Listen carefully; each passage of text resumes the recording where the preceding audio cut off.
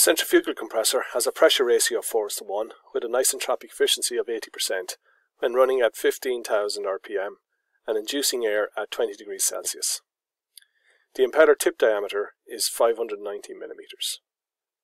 Calculate the slip factor of the compressor if airflow at entry to the impeller is in the axial direction. Take the specific heat capacity at constant pressure to be 1.005 kilojoules per kilogram degrees Kelvin and the ratio of specific heats to be 1.4. Okay, so what are we given? So we're told the pressure ratio is 4 is to 1, so P2 over P1 is equal to 4.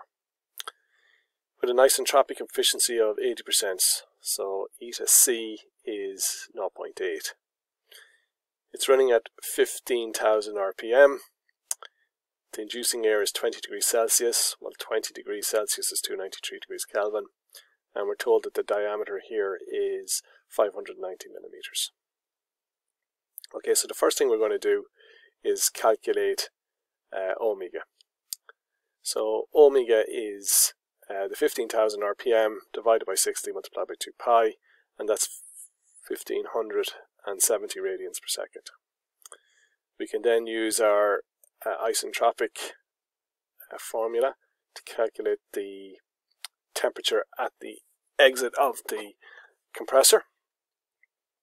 So we plug in our values.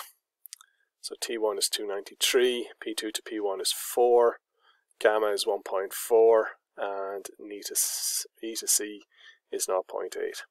So when we do that, we get a temperature uh, of 471 degrees Kelvin. Now, the power required by a centrifugal compressor is uh, the mass flow times the velocity of the blade exit squared times the slip. And the question asks us to calculate the slip. So we're going to need this. Um, we're going to need this uh, expression.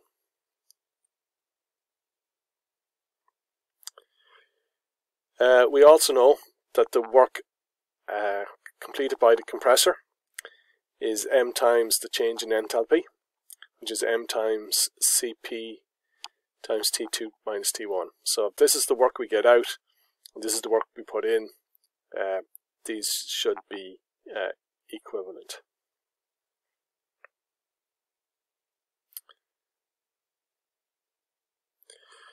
So we're saying mcp T2 minus T1 is equal to mvbe squared times theta. So the m's will um, cancel each other out. So we now have Cp times T2 minus T1 is equal to VEB squared times sigma. VBE is equal to uh, omega R. We have omega, and R is just half of 590.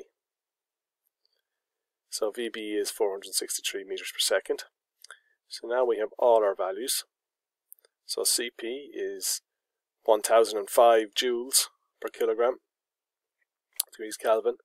T2 is 471, we just calculated that. T1 is 293, and that should be equal to 463 squared times sigma, which is the slip. The slip works out to be 0.83.